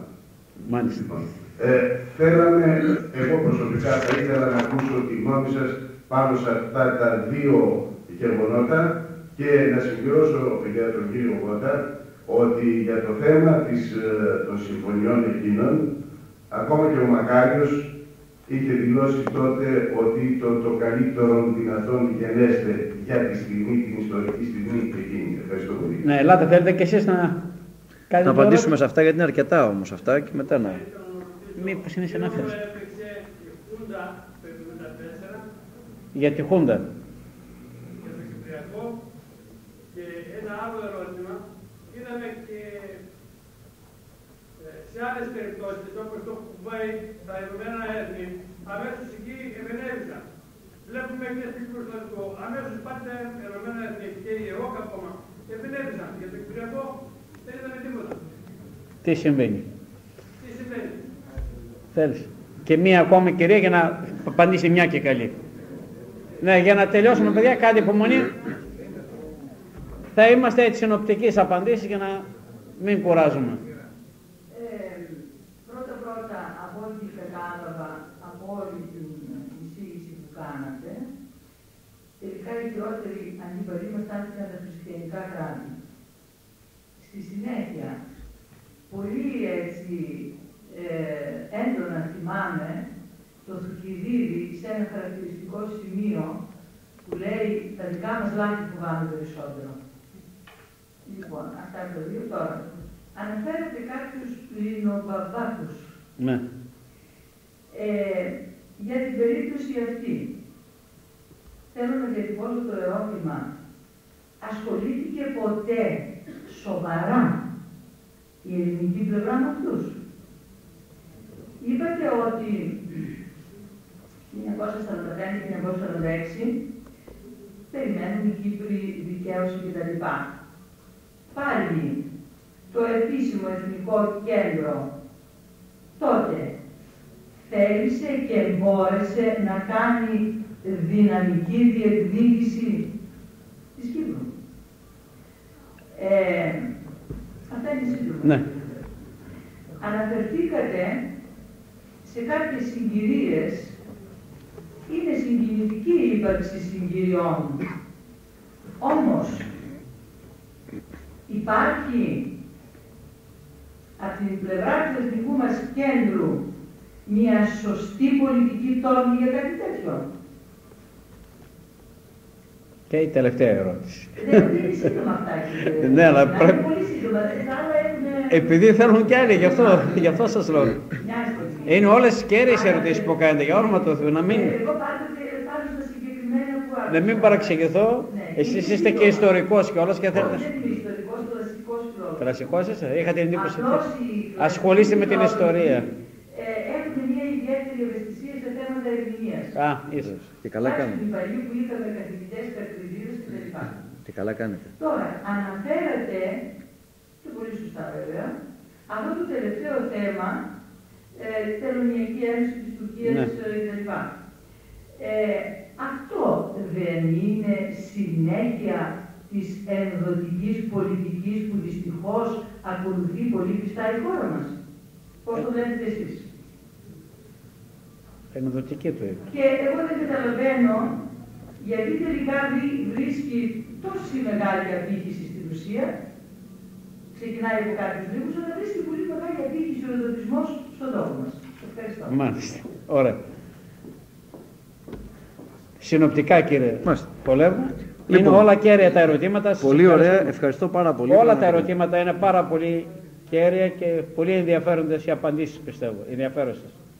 Όπως καταλαβαίνετε, στη σημερινή παρουσίαση, όπως σε κάθε παρουσίαση, και η φιλόλογος θα μας το πει αυτό, στην έκθεση όταν γράφουμε, πρέπει να έχουμε και κάποιους στόχους, κάποιο κυρίως θέμα. Ο, στοχ- ο σκοπός δεν ήταν να αναλύσουμε όλο το Κυπριακό, θα πρέπει να έχουμε εδώ πέρα δεκάδες ομιλητές, Έτσι. δεκάδες τόμους και δεκάδες ώρες. Και το βάρος για τους ώμους μου θα ήταν πολύ μεγάλο. Επειδή ήταν η επέτειος 1η Απριλίου του 55, τα 40 χρόνια, ο κύριος σκοπός μου ήταν να θυμίσω κυρίως την, τα παλικάρια αυτά, τα οποία είναι πρότυπα και επειδή είναι μια σχολή γονέων που το διοργανώνει, να ξέρουμε ότι ο ελληνισμός, έστω και τότε αδύναμος, με λίγα όπλα υλικά αλλά με πολλά πνευματικά, κατάφερε συνεχίζοντας και άλλα γεγονότα όπως το 21 και άλλα, να αντιμετωπίσει με πνεύμα την ύλη. Άρα λοιπόν το μεγάλο μήνυμα ήταν μήνυμα κυρίως παιδείας, αγωγής και χριστιανικής αυτοθυσίας των παιδιών αυτών. Βεβαίως, σε έναν αγώνα δεν είναι μόνο τα πολεμικά, είναι και τα διπλωματικά. Από τα λίγα που μπορώ να γνωρίζω, θα απαντήσω καταρχάς εάν ήταν κατάλληλη στιγμή να τεθεί τότε το Κυπριακό. Κοιτάξτε, εκ των υστέρων, πολλά μπορεί να πει κανείς. Αλλά τη στιγμή εκείνη οι άνθρωποι και γόντουσαν. Και το 21, όταν ξεκινούσαν και πριν το 21 ετοίμαζαν την Επανάσταση, υπήρχε ιερά συμμαχία, Μέτερνιχ, μεγάλες δυνάμεις και χιλιαδιό. Πήραν την απόφαση. Ε, κα- τα, τα έθνη τα οποία έχουν ιστορία και θέλουν να έχουν και μέλλον, πρέπει να παίρνουν κάποτε αποφάσεις. Επομένως, θα ήταν πολύ δύσκολο τώρα που ξέρουμε μετά από 40 χρόνια έχουμε την πολυτέλεια να γνωρίζουμε λεπτομέρειες, θα ήταν πολύ δύσκολο να κρίνουμε και πολύ σκληρό. Εν πάση περιπτώσει, οι άνθρωποι έτσι έκριναν και δεν νομίζω ότι ήταν πρόβλημα της στιγμής. Ίσα ίσα ναι, υπήρχε και ένα καλό κλίμα, διότι η Μεγάλη Βρετανία είχε δώσει αυτοδιάθεση σε κράτη που σήμερα στην Αφρική έχουμε 50 κράτη, πριν από τον Παγκόσμιο Πόλεμο τον δεύτερο ήταν 5 κράτη, αν δείτε το χάρτη. Βρετανική περιοχή, Γερμανική, Γαλλική, κάπως έτσι. Μόνο η Αίγυπτος ήταν και κανένα δυο άλλα ήταν κράτη. Ιταλική, λοιπόν, ήταν το αίσθημα της αυτοδιαθέσεως. Τα πιο πολλά κράτη που έχουμε σήμερα στη γεωγραφία τότε πήραν αυτοδιάθεση. Άρα ήταν λογικό από πλευράς διεθνούς δικαίου να το θέτουν τότε. Βεβαίως, ερχόμαστε στο άλλο και για το σχέδιο Χάρντινγκ. Οι Άγγλοι από την αρχή που ξεκίνησε η προσπάθεια των Ελλήνων για αυτοδιάθεση ένωση θυμήθηκαν τον παράγοντα Τουρκοκύπρη και σήμερα υπάρχουν ερευνητές που ανακαλύπτουν στα αρχεία του Foreign Office ότι οι Άγγλοι από την αρχή του αγώνου του Ελληνοκυπριακού είχαν το σχέδιο για διχοτόμηση. Δηλαδή, το σχέδιο Χάρντινγκ που ανέφερε κάποιος πολύ σωστά, ναι, ήταν ένα πρόπλασμα και μια επίφαση για να σταματήσουν τον αγώνα των ένοπλων των Ελληνοκυπρίων, λέγοντας ότι ελάτε εδώ να κάνουμε ένα σύνταγμα, αλλά βγήκαν τα αρχεία του Foreign Office, αλλά στην Ελλάδα βλέπετε διαβάζουμε χίλια δυο άλλα. Τα δελτία των ειδήσεων ασχολούνται με το πώς ένας πολιτικός έβρισε τον άλλον πολιτικό σε κάποιο νυχτερινό κέντρο και αυτά δεν έχουν βγει ποτέ, μόνο στις κυπριακές εφημερίδες, που αποκαλύπτεται ότι την ίδια εποχή που μας δίναν σχέδια συντάγματος δίθεν για αυτοδιάθεση, ετοίμαζαν εξέγερση των Τουρκοκυπρίων τους οποίους οι Ρίστο Εμπαρόδο τους είχαν μισθοφόρους αστυνομικούς για να βασανίζουν τους αγωνιστές. Τους βάλαν στο παιχνίδι έτσι. Τους υποκινούσαν σε επεισόδια οχλοκρατικά και ενώ οι Τουρκοκύπροι το 55, το 50 που έγινε το δημοψήφισμα δεν ήταν εναντίον της ενώσεως, έλεγαν εντάξει, ελληνικό είναι το νησί, να ενωθεί και εμείς θέλουμε κάποια δικαιώματα. Και είχαν ζήσει καλά με τους Έλληνες. Και είχαν οι περισσότεροι και παλαιά ελληνική καταγωγή, όπως θα το πούμε. Αλλά οι Άγγλοι είχαν σχέδιο να δημιουργήσουν τη διχοτόμηση όπως όπου έφυγαν οι Άγγλοι δημιούργησαν διχοτόμηση. Φύγανε από τη Μέση Ανατολή που ήταν υποκειδαιμονία της κοινωνίας των εθνών, αγγλική κυδαιμονία και γαλλική κυδαιμονία και βλέπετε, φεύγοντας από το αγγλικό κομμάτι, δημιούργησαν πρόβλημα Εβραίων και Αράβων. Διέρη και βασίλευε. Φεύγοντας από την Ινδική Χερσόνησο, δημιούργησαν το έκτρωμα, μετεκίνησαν μουσουλμανικούς πληθυσμούς, ενώ Ινδουιστές και μουσουλμάνοι ζούσαν μαζί χωρίς προβλήματα. Παίρνουν μουσουλμάνους τους πάντους μισούς στο Πακιστάν και τους άλλους μισούς στο λεγόμενο Ανατολικό Πακιστάν, το σημερινό Μπαγκλαντές, με αποτέλεσμα οι μουσουλμάνοι βρίσκονται χωρισμένοι με έναν όγκο Ινδουιστών. Ξεσπούν ταραχέ, διαμάχες, ώστε η Μεγάλη Βρετανία να έχει πάντα τον λόγο για να δήθεν φέρνει την φιλία. Το του, του διαιτητού ακριβώς. Αυτό ετοίμαζαν και τότε. Άρα δεν ήταν κανένα σχέδιο, τουλάχιστον τότε ειλικρινές. Εκείνο το οποίο προσωπικά, με, φυσικά δεν έχω την εμπειρία, υπάρχουν φάκελοι που δεν ξέρουμε, υπάρχουν στοιχεία, υπάρχουν άνθρωποι που ζουν ακόμη, αλλά εκείνο που πιστεύω ότι ήταν μια ευκαιρία πραγματικά ήταν το σχέδιο Άτσεσον. Το σχέδιο Άτσεσον προετάθη το 1964. Το 1964 ήδη οι Τουρκοκύπροι είχαν αποσχιστεί από το ενίο κράτος της Κυπριακής Δημοκρατίας, είχαν κάνει δική τους αυτόνομη εξουσία, είχαν πέσει και βόμβες από τουρκικά αεροπλάνα στα ελληνικά χωριά της Κύπρου, η Αγία Τηληρία, υπάρχει και δίσκος με τις μάχες αυτές. Και το καλοκαίρι επέκειτο εισβολή των Τούρκων η οποία άρχισε 10 χρόνια και ο πρόεδρος Τζόνσον τότε λέγεται ότι τους σταμάτησε. Η Αμερική λοιπόν προέβαλε ένα σχέδιο το εξής. Από τη στιγμή που η πλειοψηφία είναι ελληνική και οι Τουρκοκύπροι, ως Τουρκοκύπροι, δεν είχαν πρόβλημα να ζήσουν με Ελληνοκυπρίους. Πρότεινε λοιπόν ο Αμερικανός Υπουργός Άτσεσον να ενωθεί η Κύπρος αμέσως με την Ελλάδα με αντάλλαγμα στην αρχή είπαν η Τουρκία να πάρει το Καστελόριζο και στη συνέχεια, για να μην αποκοπεί κομμάτι του ελλαδικού χώρου, να πάρει η Τουρκία μία βάση στο Ριζοκάρπασο, εκεί που είναι το ακροτήριο του Αγίου Ανδρέα που μπαίνει σαν κάρφος έτσι στην κοιλιά της Αλεξανδρέτας, μία βάση η Τουρκία για 50 χρόνια από μορφή ενοικίου, όχι κυριαρχίας. Υπόψη ότι η Μεγάλη Βρετανία ήδη από το 59 είχε καταφέρει να έχει υποκαθεστώ δίθεν κυριαρχίας, αμφισβητείται αυτό από τους νομικούς της Κύπρου, το 3% του εδάφους, ένα κομμάτι κοντά στη Λάρνακα που είναι η αγγλική βάση Δεκελίας και ένα κομμάτι κοντά στη Λεμεσό που είναι η βρετανική βάση Ακροτηρίου και Επισκοπής με σημαντικό ρόλο αεροπλάνα που επιτηρούν τη Μέση Ανατολή, ΝΑΤΟ κλπ. Μια τέτοια βάση λοιπόν να έχουν οι Τούρκοι για 50 χρόνια. Αυτό συνεζητείται σοβαρά. Από ό,τι μπορώ να γνωρίζω, γιατί καταλαβαίνετε εκείνη την εποχή δεν ήμουν παιδί, όπως και πιο πολλοί από εμάς δεν μετήχαμε της εξουσίας, και επειδή αυτά τα πράγματα στην Ελλάδα δεν βγαίνουν στο φως όπως το Foreign Office βγάζει έστω και επιλεκτικά μερικά, διαισθάνομαι ότι ήταν μια ευκαιρία που μπορούσε η Κύπρος να ενωθεί και για 50 χρόνια απλώς ένα κομμάτι μικρό θα ήταν μια βάση των Τούρκων για να είναι και αυτοί ικανοποιημένοι. Κακώς δεν έγινε δεκτό το ποιοι δεν το έκαναν δεκτό, ας μην κάνω εγώ τον κίνσορα, διότι υπάρχουν και πρόσωπα που αναφέρονται στην ελληνική και στην κυπριακή πολιτική ζωή. Απλώς θα έλεγα το εξής. Υπάρχει ένα βιβλίο το οποίο ε, έγραψε ο Δημήτρης Πουρνάρας, ιδιαίτερος γραμματεύς του Γεωργίου Παπανδρέου. Το βιβλίο αυτό λέγεται «Στην φυλακή ο Γιώργος Παπανδρέου εξομολογείται και αποκαλύπτει». Εκεί οι δύο συζητούν και λένε γιατί δεν προχώρησε το σχέδιο Άτσεσον που πιστεύω ότι ήταν μια χαμένη ευκαιρία. Επίσης το ίδιο ερώτημα, δεν υπάρχουν στοιχεία, δεν ξέρουμε ακριβώς τι έγινε, ισχύει και για άλλα παρασκήνια, το 1974 για παράδειγμα και πολλά άλλα. Δεν μπορεί κανείς να κρίνει, διότι υπάρχει μια πολιτική φόρτιση, πολλά ακούγονται, πολλά λέγονται και από τη στιγμή που δεν αυτά έρχονται μπροστά μας να τα κρίνουμε, ο καθένας μπορεί να έχει αποσπασματική ενημέρωση. Το γεγονός είναι ότι ακόμη μια φορά αποδεικνύεται ότι η διχόνοια που λέει ο Σολομός έπαιξε το ρόλο της και συμφωνώ πραγματικά με αυτό που νομίζω είπε η κυρία καθηγήτρια ότι το μεγαλύτερο πρόβλημα είναι ο δικός μας κακός εαυτός. Διότι πριν από το 1974 που έγινε η εισβολή είχαμε φτάσει στο σημείο για λόγους εγωισμών, για λόγους πολιτικών καταστάσεων να έχουμε στην Κύπρο δύο μέτωπα εσωτερικά, μέσα ελληνικά, να έχουμε ανθρώπους οι οποίοι είτε αγνοί είτε όχι, δεν μπορεί να το ξέρει κανείς, μόνο ο Χριστός ξέρει, λέει ο Ετάζων νεφρούστε καρδίας, αν ήταν αγνοί που ήθελαν την ένωση τότε, εκείνη τη στιγμή, κάποιοι άλλοι οι οποίοι είχαν άλλα συμφέροντα, κάποιοι οι οποίοι δεν ήθελαν καθόλου την ένωση διότι έλεγαν εγώ τώρα εδώ πέρα είμαι υπουργός, είμαι κάτι, τι θα γίνω, νομάρχης της Ελλάδος, υπήρχαν και αυτά.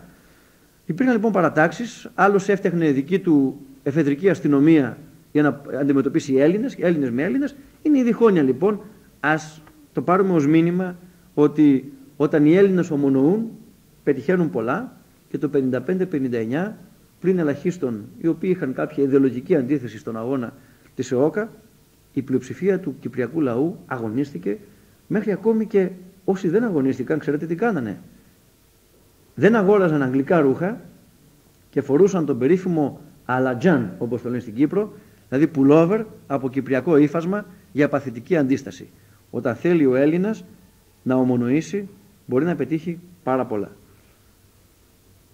Το γιατί επενέβησαν στο Κουβέιτ και δεν επενέβησαν στην Κύπρο φυσικά είναι ένα μεγάλο ερώτημα διότι απλούστατα στο, στις διεθνείς σχέσεις δεν ισχύει το δίκαιο αλλά ισχύουν τα συμφέροντα και το πώς προωθείς τα συμφέροντά σου.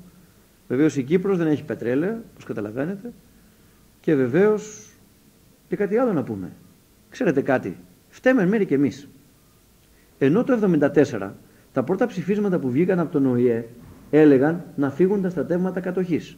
Την τελευταία δεκαετία, ορισμένοι παράγοντες στην Αθήνα και στην Κύπρο έχουν ξεχάσει να προβάλλουν διεθνώς ότι πρόκειται για πρόβλημα εισβολής κατοχής και το μετατρέπουν σε διακοινωτικό πρόβλημα. Μέτρα εμπιστοσύνης λέει, ήρθε ο κύριος Τάδε, ο κύριος ένα χαρτί έφερε ο Τάδε, διαβουλεύσεις, συζητήσεις, 3%. Δίδεται η εντύπωση διεθνώς. Αν πάτε σε μια ξένη κυβέρνηση και ρωτήσετε πλην του ειδικού γραφείου που παρακολουθεί την Κύπρο ελληνοτουρκικά, αν υπάρχει, νομίζουν ότι ο Μιχάλης και ο Μεχμέτ παίζαν τάβλη σε ένα καφενείο στη Λευκοσία και τσακωθήκανε για το τάβλι. Αυτό φταίμε κι εμείς, ως ενίος ελληνισμός. Δεν έχουμε προβάλει την παραμονή εισβολής και κατοχής και με το να συζητούμε και να δεχόμαστε. Λέει ο Γκουεγιάρ, λέει ο ένας, λέει ο Μπούτρος Γκάλι, λέει ο Χάλι, λέει το οποιοδήποτε. Και φτάνει ο κόσμος να νομίζει και στην Ελλάδα ακόμη και στην Κύπρο ότι είναι θέμα εάν δεχόμαστε μία παράγραφο ή όχι.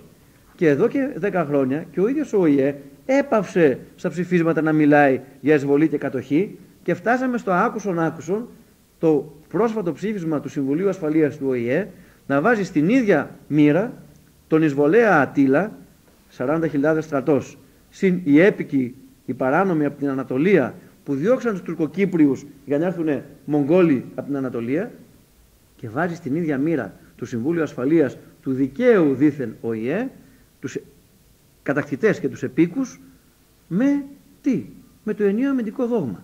Λέει, λέει, λέει, αλλά και η Κύπρος θέλει να ενισχύσει την άμυνά της. Μα μου έχουν πάρει το 40. Κινδυνεύουν να μου πάρουν και το άλλο 60. Δεν θα αμυνθώ. Εν μέρει λοιπόν βεβαίως είναι τα συμφέροντα, αλλά και εμείς δεν κάναμε ό,τι έπρεπε να προβάλλουμε το θέμα αυτό. Για τους λινομπάμπακους.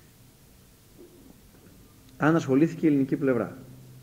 Όταν το πρόβλημα ήταν υπαρκτό, δηλαδή όταν υπήρχαν μουσουλμάνοι της Κύπρου που έλεγαν ότι είναι Έλληνες αλλά κάποτε προγονεί τους αναγκάστηκαν να εξισλαμιστούν υπήρξε μια ολιγορία και το παραδέχονται αυτό ο Αρχιεπίσκοπος Κύπρου το, το έχει πει σε προσωπική συζήτηση που είχα τη χαρά να έχω μαζί του ότι φταίμε κι εμείς ότι μέχρι το 22 που επευλήθη στην Τουρκία ο κεμαλισμός που είναι μια εθνικιστική ιδεολογία θα έλεγα αυτό πρέπει να μελετηθεί είναι το πρότυπο του χιτλερισμού άλλαξε τη γλώσσα, αλλάζει την ιστορία, αλλάζει τα πάντα. Ένας λαός, μία θρησκεία, μία γλώσσα.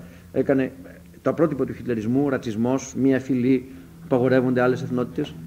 Πριν λοιπόν να επιβληθεί ο κεμαλισμός, οι μουσουλμάνοι της Κύπρου, οι μισοί τουλάχιστον, ήξεραν ότι είναι κρυπτοορθόδοξοι. Και οι Άγγλοι το ήξεραν. και δεν έγινε βήμα θαραλέο από την ελληνική κοινότητα, διότι τότε ελήψη κράτους στην Κύπρο υπήρχε η εθναρχία. Δηλαδή, πέριξ του Αρχιεπισκόπου εξελέγοντο κάποιοι βουλευτές που λεγόντουσαν εθναρχικοί σύμβουλοι. Τώρα τελευταία ο Αρχιεπίσκοπος Χρυσόστομος ανασυνιστά το Εθνικό Συμβούλιο, όχι διότι δεν εμπιστεύεται την κυβέρνηση, αλλά για να θυμίσει ότι είναι υπόδουλη η μισή Κύπρος και ότι η εθναρχία παραμένει η εθναρχία. Δεν τους πλησίασαν όσο έπρεπε. Μετά το 22 ο Κεμάλ επέβαλε τον νεοτουρκισμό, μια εθνικιστική ιδεολογία και όλοι αυτοί ενετάχθησαν στην τουρκική προπαγάνδα είμαι Τούρκος, είμαι Τούρκος που λένε κάθε πρωί στο σχολείο και χάθηκαν. Όμως ιστορικά έχουν μελετηθεί.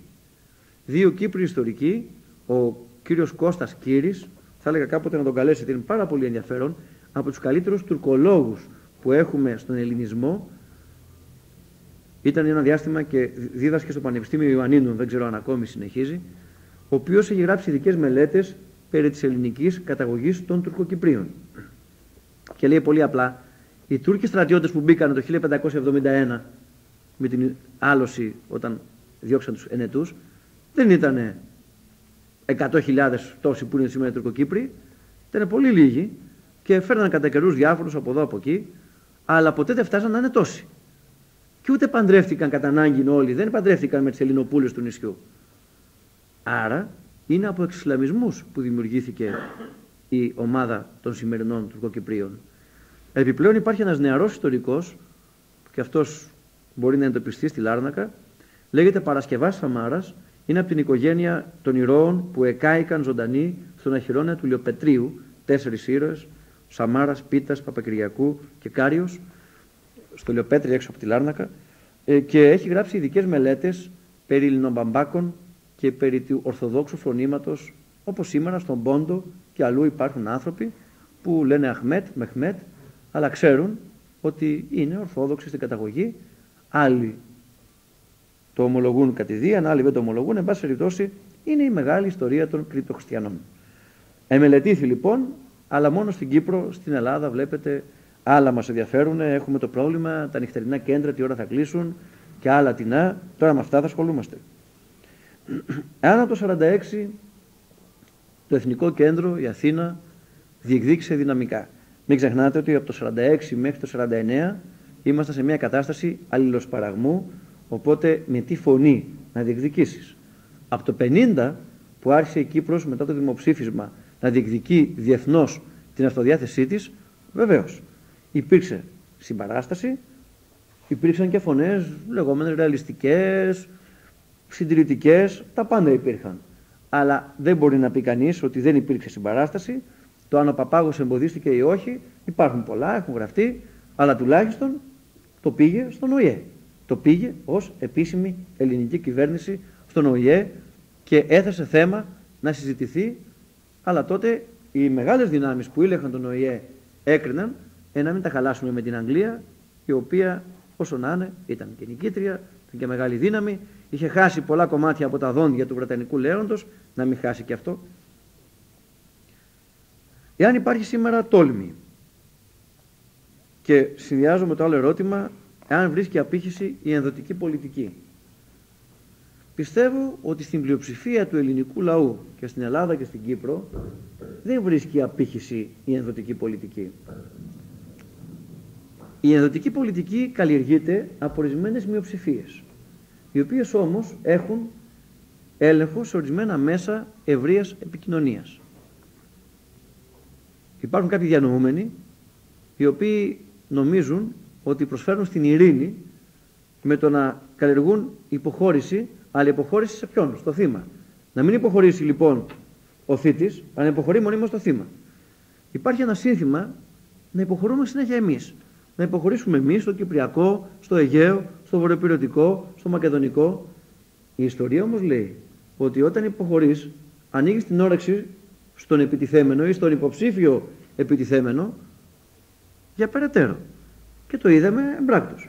Μόλις εμείς υποχωρήσαμε και βάλαμε την Τουρκία με δική μας έγκριση, εμείς ήμασταν το εμπόδιο τυπικά, την Τουρκία στην Τελωνιακή Ένωση με την Ευρώπη, η Τουρκία συνέχιζε, μας απειλεί με προσάρτηση της Βορείου Κύπρου, μας απειλεί με διάφορα κυρία Τζιλέρ και δείχνει αμέσως το ευρωπαϊκό της πρόσωπο πώς με όσα κάνει στο Κουρδιστάν. χαίρομαι διότι καθημερινά η πραγματικότητα και τα γεγονότα δίνουν ραπίσματα σε όλους εκείνους τους κυρίους που περιφέρονται από κανάλι σε κανάλι και από νυχτερινό κέντρο σε ταβέρνα και μας λένε ότι είμαστε εθνικιστές και πρέπει να υποχωρήσουμε. Να σταματήσει η καραμέλα του εθνικισμού, διότι όταν έχεις υπόδουλα τμήματα του εδάφους σου, όταν οι βορειοπυρώτες καταπιέζονται και δεν έχουν σχολεία και εκκλησίες, όταν έχουμε την Τουρκία η οποία δεν μας επιτρέπει του διεθνούς δικαίου στοιχειώδη υποχρέωση και δικαίωμα να επιβάλλουμε στο Αιγαίο. Όταν έχουμε μαζί μας το διεθνές δίκαιο, όταν έχουμε αγνοουμένους, όταν έχουμε ψηφίσματα και όταν έχουμε και συμφέροντα στο κάτω-κάτω, όταν έχουμε τόσα σημεία στα οποία ήδη υποχωρήσαμε, απαραδέκτος άλλοτε είτε δεκτός κατά άλλη αντίληψη, δεν μπορούμε επιτέλους συνέχεια να υποχωρούμε. Τι κερδίσαμε υποχωρώντας το 1955 όταν εδιώχθη ο ελληνισμός στην Κωνσταντινούπολη, τι κερδίσαμε υποχωρώντας στο Κυπριακό, τι κερδίσαμε συζητώντας με τον Δεκτά και αναγνωρίζοντάς του προσωπικότητα νομική σχεδόν και πηγαίνοντα στον ΟΗΕ. Σκεφτείτε, 20 χρόνια περάσανε και καταφέραμε εμείς οι ίδιοι να ξεχάσουμε τον Ατήλα. Και λέμε μετά γιατί οι ξένοι το ξεχάσανε. Τι κερδίσαμε υποχωρώντας συνέχεια στον κύριο Μπερίσα, ανοίξαν σχολεία. Εγώ δεν είδα τίποτα ακόμη, χαμόγελα βλέπω. Και του λέμε και για τους τσάμιδες να το συζητήσουμε και του λέμε να νομιμοποιήσουμε και 300.000 Αλβανούς που αύριο θα είναι μειονότητα, θα διεκδικεί ο Μπερίσα να εξορροπεί το βορειοπηρωτικό που είναι υπαρκτό. Τι κερδίσαμε υποχωρώντα όλα αυτά; Και τα Σκόπια συνεχίζουν να απειλούν. Και προημερών που ήμουνα στην Σερβία, μου είπε ο επίσκοπος ο γνωστός, ο Ειρηναίος ο Μπούλοβιτς, ο μέγας ελληνομαθής, μου λέει ξυπνήστε.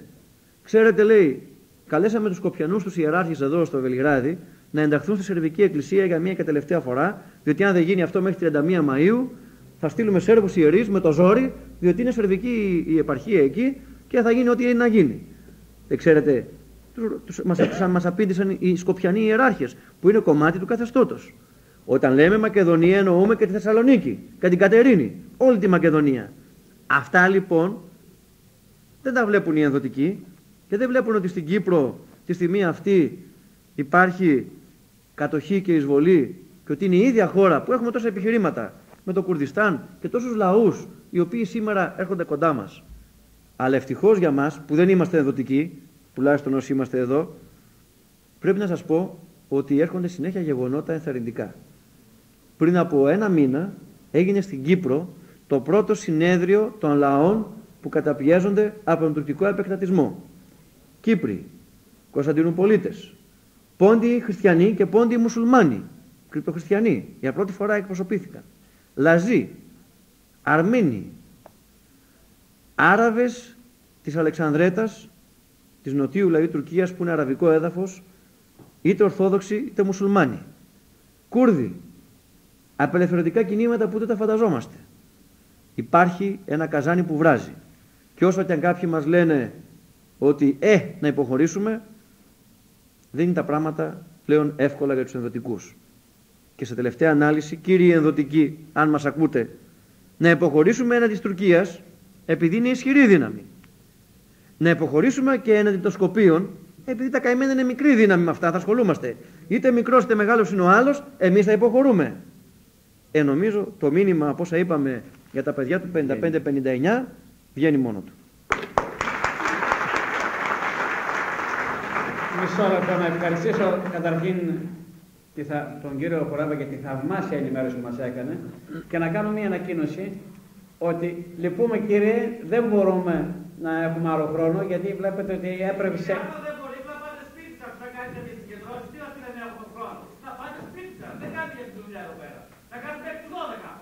Να καθίσετε κύριε, εσείς τώρα θα κάνετε ερωτήσεις σας. Μιλάω για τον κόσμο. Ναι. Κατηδίαν.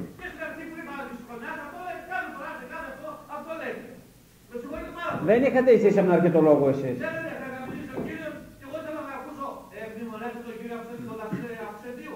Βεβαίως. Πρώτον ήρωα από όλους τον αιωνιμόνα. Λοιπόν, ήθελα να ευχαριστήσω θερμά τον κύριο Κολέμου. Καταρχήν αυτή η ομιλία θα έπρεπε το Δύο Channel, το οποίο δεν έχει καταγράψει κιόλας, να την αναμεταδώσει, διότι πράγματι είναι πάρα πολύ κατατοπιστική και δει και όλα τα άλλα τα εθνικά θέματα. Επίσης, θα ήθελα να ανακοινώσω ότι η ομιλία μας μία έμεινε ακόμη τελευταία που κλείνουμε, θα γίνει στις 8 Μαΐου και θα την κάνουμε η ώρα 8 με τον παιδοψυχίατρο ιερωμένο, τον πατέρα Βασίλειο Θερμό, ο οποίος είναι θαυμάσιος και ομιλητής και πάρα πολύ καλά εκτοπισμένος στα θέματα των σχέσεων των συζύγων και των παιδιών, ένα θέμα το οποίο πάρα πολύ καίει. Ε, και για τη Χούντα, κύριε Κολέβα, γιατί φοβάστε να πείτε, τι πρέπει πίσω από Θα μιλήσω, με περιμένετε δύο λεπτά. Δεν είναι φταίει που καταστράφει που χάσαμε την Κύπρο η Χούντα, αυτοί οι Ρουφιάνοι, όπου και αν υπάρχουν, να πάψει πλέον άνθρωπος να υποστηρίζει τη Χούντα στην Ελλάδα. Να σας απαντήσουμε μέσα. Και νομίζω αυτή είναι, όχι μόνο αυτή, και αυτή είναι ενδοτική. Η χουντική, αυτή που καταστάσεις την Κύπρο. Δεν είναι και άλλοι ενδοτικοί που είναι και πρέπει να τους χτυπήσουμε όλοι. Είναι και χουντική, κύριε Πολέμα καταδικάζουμε οποιονδήποτε άνοιξε κερκόπορτες. Αλλά σε ένα κλίμα που πρέπει σήμερα να έχουμε εθνική ομοψυχία, πιστεύω ότι πρέπει πάνω απ' όλα να διδασκόμαστε. Η διχόνοια μας έχει βλάψει, η ομόνια θα μας οδηγήσει σε καλύτερες στιγμές. Ναι. Ευχόμεθα λοιπόν καλές γιορτές, καλό Πάσχα σε όλους σας, καθώς και στους τηλεθεατές και τους ακροατές του Δημοτικού Ραδιοφώνου, διότι έχουμε παράλληλη ακρόαση. Και εγώ ευχαριστώ όλους σας.